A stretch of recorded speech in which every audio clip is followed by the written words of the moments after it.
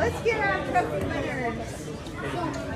That's crazy though. Our runner-up today goes to Piper Binkley from Orlando, Florida. Girls 10 green dot. Way to go, Piper. I'm giving you a trophy. Good one.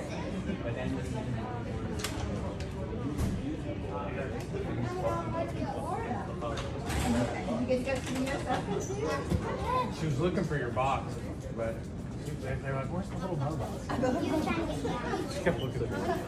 Did you see Marine's picture? Uh, We haven't the court yet. champion? We'll have to go check that out. We're going today. Oh, okay. All right. Uh, yeah, Piper, can you stay right there? We'll need both girls in a minute. All right. And now, got to put the glasses on. Girls 10 Green Dot winner goes to Lyrik Plantin. I got it right. Awesome. Yep. Lyrik, this is your first time putting it? I think I said Lyrik Plantin before. Uh, congratulations from Sarah, Sayreville? New Jersey. Congratulations. Nice to meet you. You look so, you like a fashion model. Congratulations for your first Little Mo trophy. You're taking on the girls 10 green dot. Way to go. That's not an easy division. I know you must have had a tough match. Me put this down. Tough match with Piper. Congratulations. Let's get a picture with you. Sorry. Look at that. And shake your. Your dad's something. Some videoing? Yeah. Awesome.